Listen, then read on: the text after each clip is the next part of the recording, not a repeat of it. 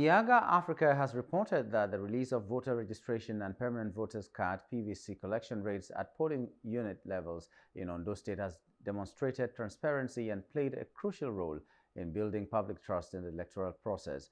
The chairman of the 2024 Ondo Election Mission, Ezenwa Nwagwu, emphasized that INEC had completed preparatory activities including personnel training and deployment of materials to ensure smooth election day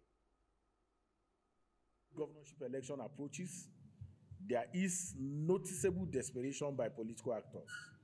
This desperation is evident in various ways, including heightened rhetoric, aggressive campaigning, the spread of misinformation, and personal attacks aimed at undermining opponents.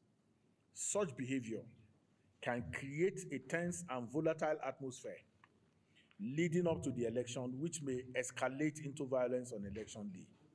For instance, Yiaga Africa observers reported instances where candidates encouraged or incited their supporters to commit acts of violence in Idori, Ifedore, and Irele local government areas.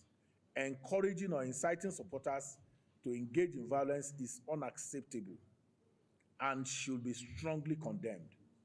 It undermines the democratic process and poses threats to the safety and security of all citizens.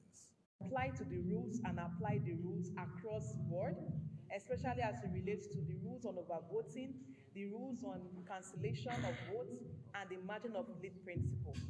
Those are important integrity questions as it relates to the process. And that test for us is not a test designed or developed by Yiaga. These are integrity tests used to assess elections across different parts of the world. The process is checked and then the result management and the final declaration. That is how you assess elections across board. And we'll be doing that for Ondo. So I Yiaga Africa call on voters in